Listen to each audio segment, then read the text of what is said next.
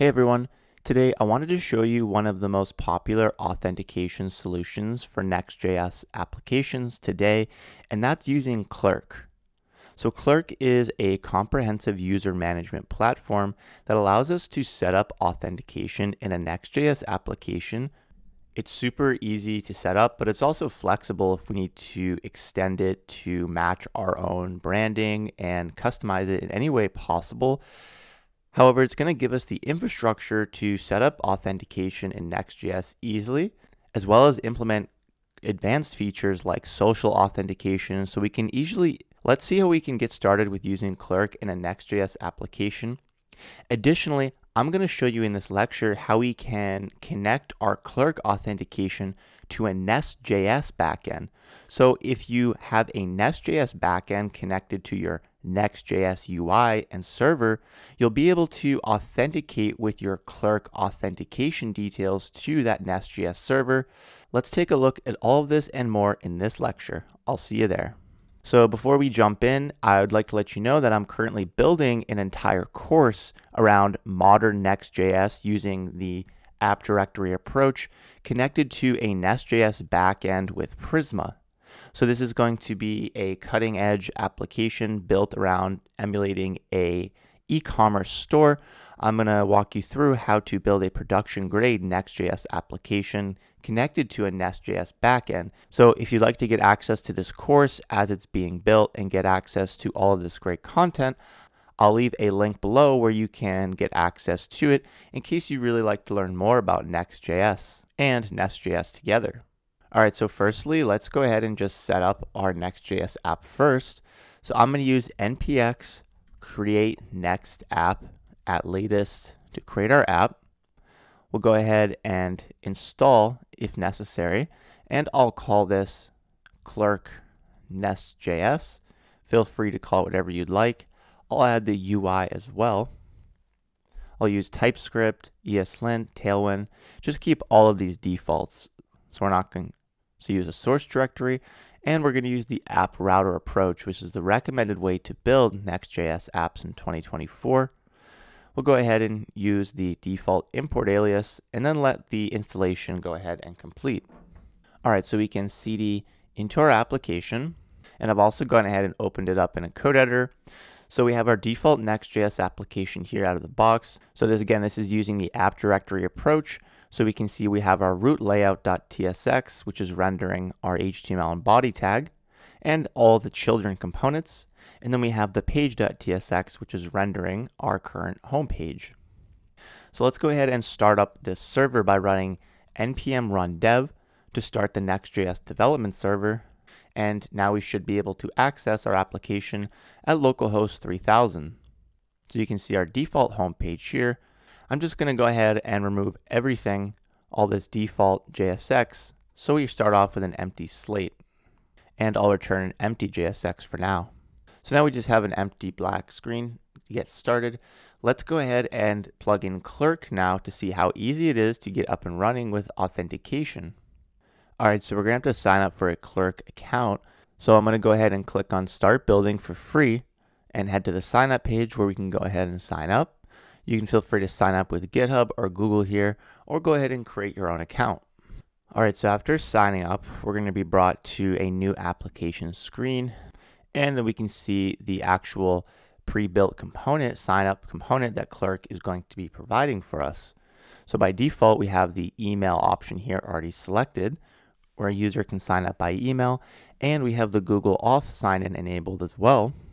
So we can also scroll down and see all of the other providers that Clerk offers us. So a bunch of different ways to authenticate with our application. I'll go ahead and enable GitHub as well, and then provide an app name. I'll just call this demo for now, and then click create application. All right, so now we can actually see this starter steps for our Next.js application on the dashboard, which is actually going to be really useful to set up our integration. So let's go ahead and follow these exact steps. Firstly, we'll go ahead and install Clerk for Next.js in our UI. So let's go ahead and stop our server and go ahead and install it. I'll go ahead and start it back up. And now we also need to set environment variables. So these environment variables are going to be how we actually authenticate our application to Clerk's backend.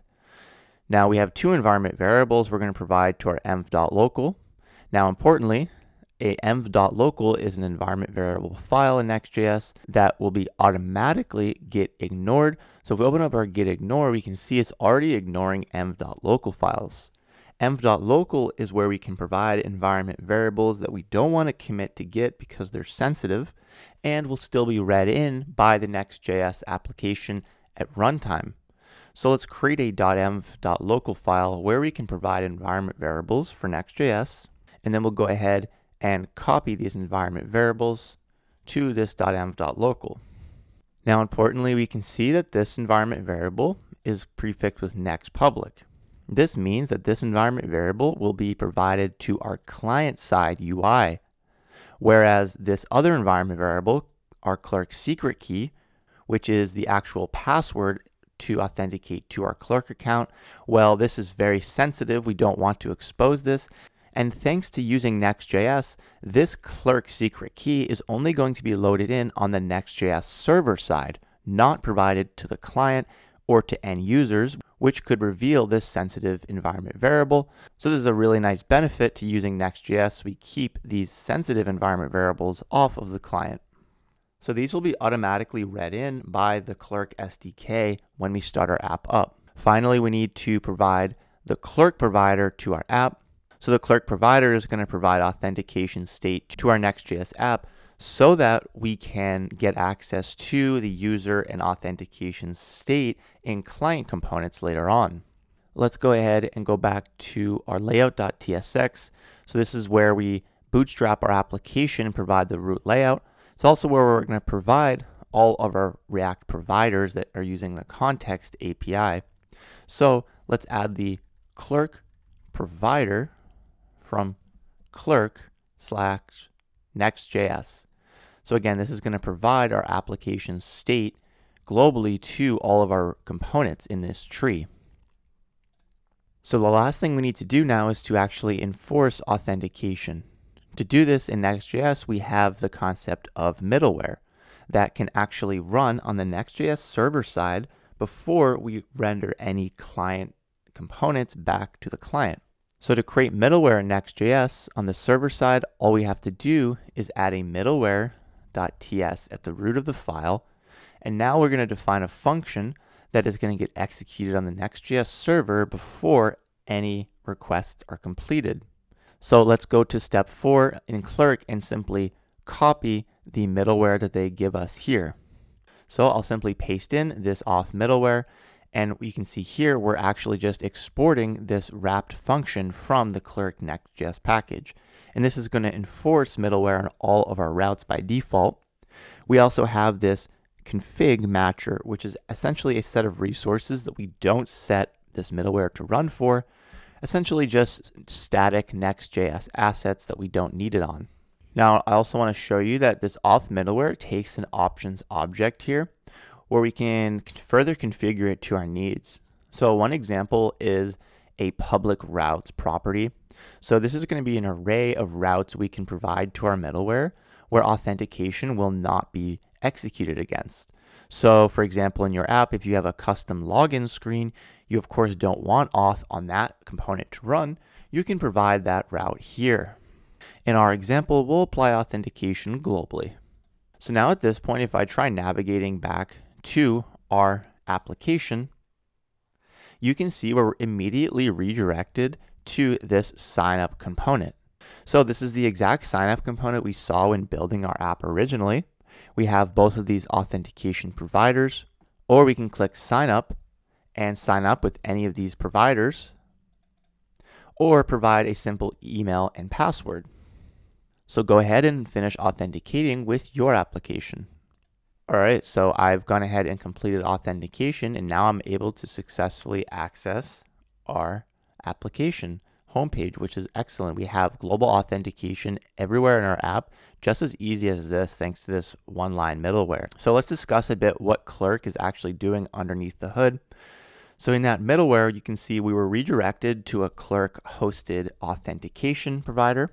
Now in production, that provider will be your own custom URL that you provision. So we're never going to be leaving our application, but in development mode, it's going to be on that hosted page we saw. Now that authentication provider is going to authenticate us based on our credentials, which are all stored in the Clerk backend. And then it's going to redirect us back to our application. And importantly, what it does is it's going to set our authentication session using cookies. So if we go to our cookies tab right now and actually look at the cookie set for our domain, you'll actually see this session cookie that has been set and it looks very similar to a JWT. So we can verify this if we just copy this JWT and I'll go to jwt.io to decode the token. We can take a look at it here and see the decoded token. So this is just a JWT token that Clerk has provisioned for us because we're authenticated. And then since this cookie is set on our Next.js application domain, it's going to be provided for all requests we make to our Next.js server. So any routes we actually go to in our application will always include this session authentication cookie. And then this Clerk middleware, it'll find this session cookie, verify it, and make sure we're authenticated to access the page we're on. So this session cookie here is essentially how this authentication is all happening, and it's completely managed by Clerk for us, which makes this a very easy integration. Now, in addition to providing authentication, Clerk gives us a bunch of great UI components we can use to actually interact with the authentication state. Let's look at those next. So let's go to our homepage where I want to change the JSX we're currently returning. And I want to return a div now. And let's give this a class name of height screen, flex, item center, justify center, flex col, gap 5. So these are a bunch of Tailwind classes we're applying to make our div essentially centered in the screen. So this is just going to make it look a bit better now that we can provide this clerk component of user button. So now if we go back to our app, we can actually see this user button in the middle of the screen, which is essentially the authenticated user's profile picture for their account. So I authenticated with Google. This is my Google account's profile picture. If I click on it, you can actually see we have this little modal here where we can sign out and manage our account as well as the current authenticated user's details. So again, this is all coming thanks based off of our session cookie. Clerk knows which user is currently authenticated and it's displaying this modal thanks to that. So we can click sign out here and actually sign out of our application and be brought back to the sign in page. So I'll go ahead and sign back in. So we can sign in and sign out. And now if I click on this manage account, we have this really nice modal that pops up here and gives us all this details about our account as well as account management preferences. So we can go ahead here and manage our email addresses, our connected authentication providers, so we can connect multiple accounts. We have a security panel here to set a new password, as well as even view the devices that have been accessing our account recently. Finally, we can see here that we can even delete this account. So we have all of this information about our current authenticated user out of the box, thanks to Clerk, and there's very little we have to do to get all of this, which is very nice. Now, in addition to these pre-built components that Clerk offers us, so in addition to these pre-built components that Clerk offers us, it also provides us functions that we can call directly from our components to get authentication state. Now it offers two sets of these functions. One we can use directly in server components. So these are going to be server actions that are only executed on the server side. But it also offers us client side functions that we can call on client components to get auth and user state. So let's take a quick look at both of these. I'll go ahead and firstly mark my home component as async. This is a server component, so we can use top level await here. Firstly, let's take a look at our auth details, which is essentially just going to be the decoded session token that is currently stored in the application that we've already seen. So let's go ahead and log this out firstly so we can just take a look at this. So again, this is a server component. So we'll have to take a look at these logs on the server side. So we can see this authentication object that we get back. This is going to include all of the claims that we already saw on the session token here. It also include the session ID and user ID. So this is going to be a really useful function call when we need access to this information without having to reach out to the Clerk API. So let's go ahead and look at the next call, which is going to be the details about the current user. So we'll have const user equals to await current user from clerk slash nextjs again. And let's go ahead and log out this user as well. So again, this is going to actually reach out to our clerk server to get information about our current authenticated user. So it'll include the session token to this call to authenticate it. And now if we look at our server logs, we can see we have the user's information here from our clerk server. So this is going to be all of the details that we have about this user, like their image, when they've last signed in, their email, and phone number. Any other account information that they have, will have access to on this user object. So let's go ahead and underneath our user button, we'll go ahead and output the user's first name and then the user dot last name. So now we can see my user's name directly underneath my profile. So now we've seen these functions on the server side. Let's take a look at how we can get authentication state on the client side. And again, thanks to this clerk provider we've already set up, this is going to be really easy to do. So let's go ahead and create a new route here that I'll just call user. And I'll create a page.tsx in here so that we render this route. I'm also going to provide use client up top so that this is rendered as a client component explicitly. And then we'll export default function user. So this is just going to be a sample user page. And in here, let's go ahead and return empty JSX for now and make sure we can navigate to slash user. So we're on the user client component now. I want to get access to the user and authentication state again. Well, Clerk offers us custom hooks to do this. So let's get access to auth by calling use auth from clerk slash nextjs and go ahead and log this out first. So now that we're in a client component, we should expect to see these logs on the browser. So let's go ahead and check. Yep, we have this object now, which is the authentication state for this given JWT. Additionally, we have the user we can get access to from use user. So let's go ahead and log the user out, refresh, and now we have the user's information underneath this user object. And I'll go ahead and output it now inside of our return. So I'll just have an h1 where I'll include, again, the user's first name here, as well as the user dot user dot last name. So now we see our user's name in the top of the browser here. So now we see how we can get access to our auth state in both client and server components super easily thanks to Clerk's APIs. Alright, so now the last bit I want to show you is how we can pass this authentication state to a custom Nest.js server or really any Node.js server that you're going to be utilizing. It's going to be a very similar process. So to get started, I'm going to use the Nest CLI to generate a new project and call this Clerk Nest.js backend now. And I'll use pnpm to set up my project. Now there's a couple dependencies we want to install out of the box. So let's cd into our backend and install at clerk slash clerk SDK node. So this is going to be clerk's SDK for any Node.js backend.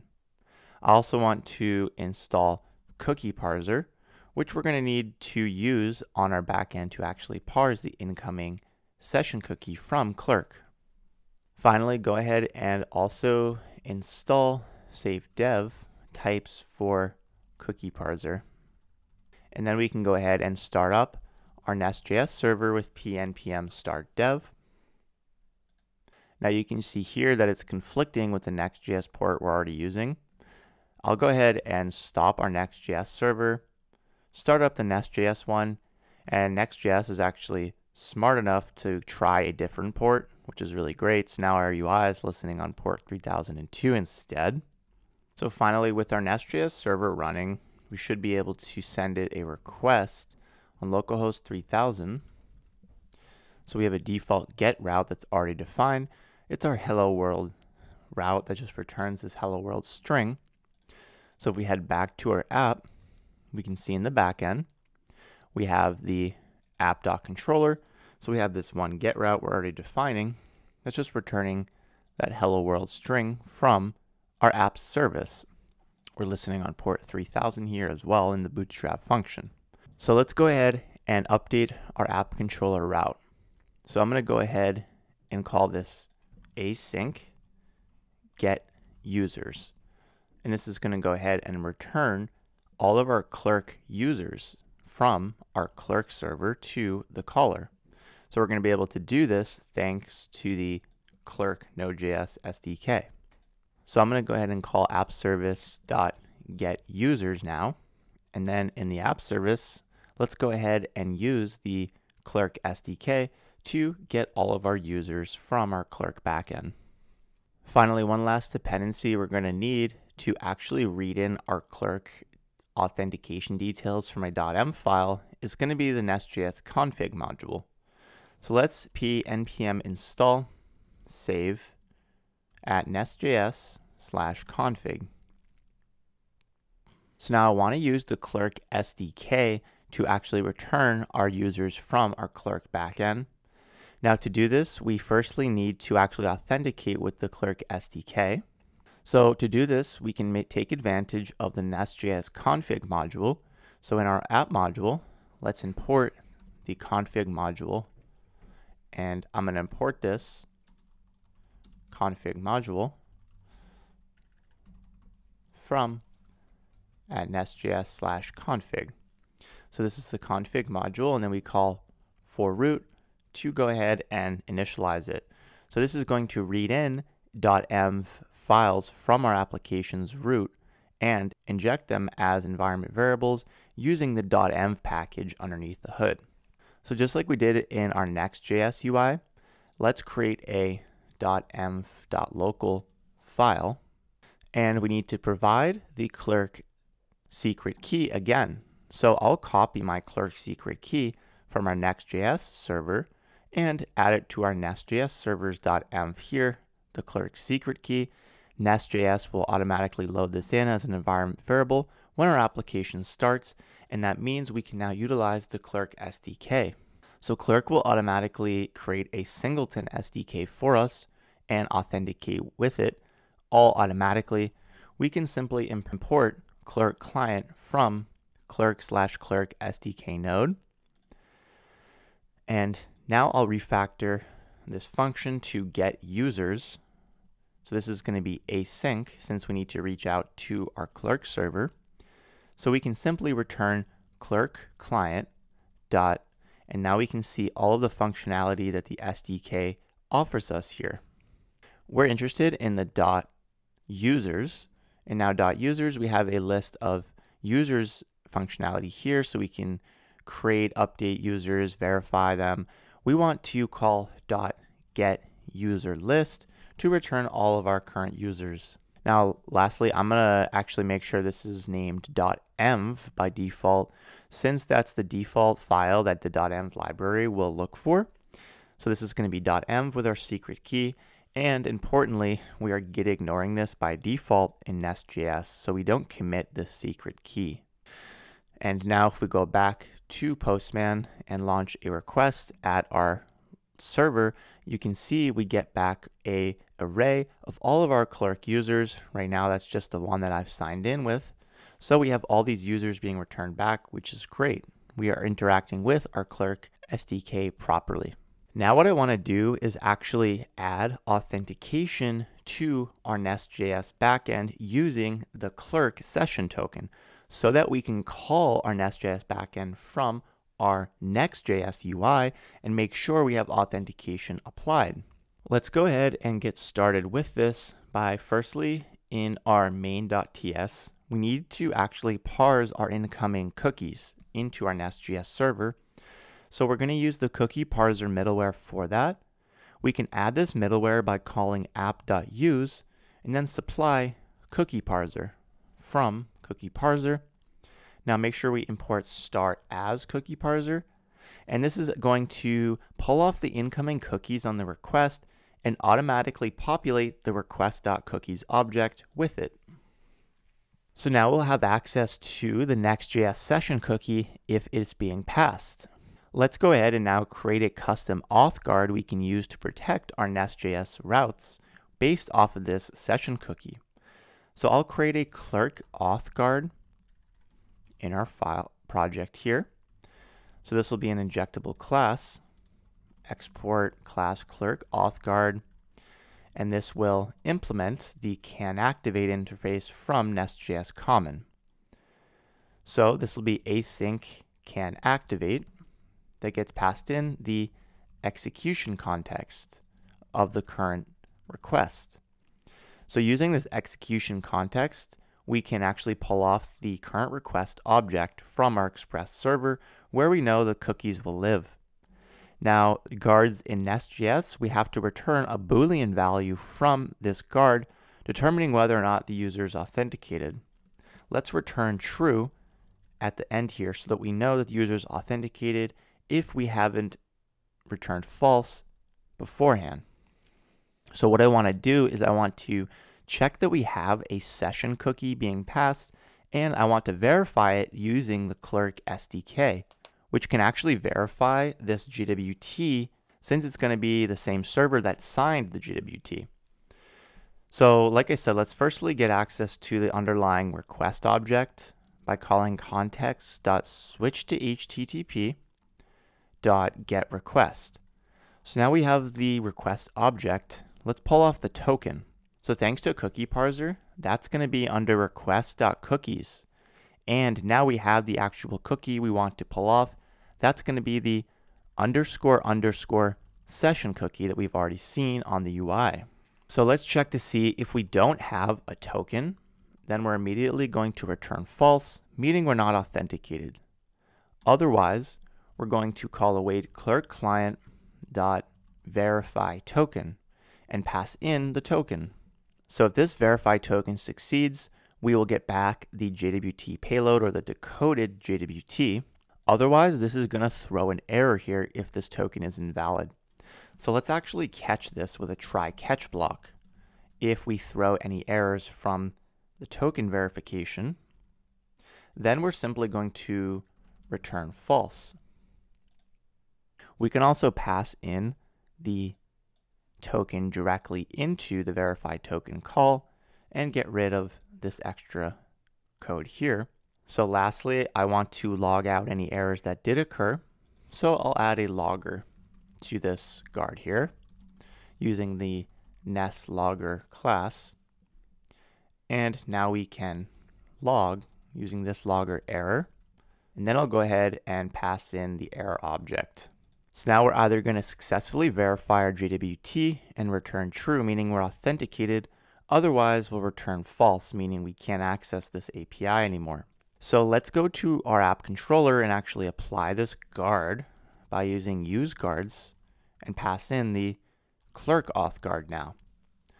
So now if we go back to Postman and try calling this route, we get a 403 because we're not passing in that clerk session cookie and we're not authenticated. So this is great. We're applying authentication properly. Let's go ahead and go to our Next.js UI now and see how we can actually authenticate to this Nest.js route. So let's go ahead and firstly call our Nest.js backend from the Next.js UI. To do this, I'm going to go ahead and create a new query, which is going to get executed on the server side. So let's go ahead and create a new get users.ts server function. So we'll go ahead export default async function get users. So this is going to be what our Next.js UI will call to our Next.js server. And now I want to reach out to our Nest.js server to actually get the users. So let's have a const res set it equal to await fetch. I'll pass in our Nest.js server URL now, which is going to be at localhost 3000 and then I'll return res.json, which is going to be the parsed response or the parsed users JSON. Now I want to go back to our home page and actually call this. So since this is a server component, we can use top level await and call this server action by calling const all users equal to await get users. So let's call this server function and simply log out all of these users. So now if we go back to our Next.js UI and refresh, well, if I look at my logs here, you can actually see we have a forbidden 403 being logged. And in our Next.js backend, we actually have an error log stating that we have an invalid JWT. Now, this is, of course, because we're not providing the clerk JWT cookie to our Nest.js backend right now. Let's go ahead and fix this. Go back to our users query, and now let's provision some custom headers. In the headers, I now want to explicitly set cookie and call cookies from next slash headers dot toString. So this is going to serialize all of the existing cookies in our Next.js server, which we know is of course going to include the clerk JWT cookie and pass it along to our Nest.js backend. So our Nest.js backend auth guard can parse the session cookie and authenticate us. If we go ahead and now try refreshing and go back to our logs, we can see we now have this array being returned, and this is the array of users, meaning our call has finally succeeded. So we're actually successfully authenticating to our Nest.js backend with our clerk JWT cookie. So let's go ahead and output these users in our homepage. I'll create a new div and an h1 where we say all users. And now I'll have an uh, ordered list where I'll map over them. So all users.map, and then we get access to a user here. So this is actually going to be of type user, and we can import this type from clerk Next.js server. Again, this is fine because we're on a server component here. And then we're going to go ahead and return some JSX. So I just want to return a list item that will output the user dot first name and then the user dot last name just as we've done with our own user and supply a key of user dot ID. So now if we go back to the UI, we can see we have all of the users being outputted here from our Nest.js backend, which is of course using the Clerk Node.js SDK to get all of the users. So in this video, we've seen how we can utilize Clerk to set up authentication on both a Next.js app and a Nest.js app super easily. This saves us a lot of time and effort in setting up authentication, especially setting up these social providers, which makes it a lot easier for your users to authenticate while this is all included out of the box thanks to Clerk. I hope you've learned a lot in this lecture. Thank you so much for watching, and I'll see you in the next one.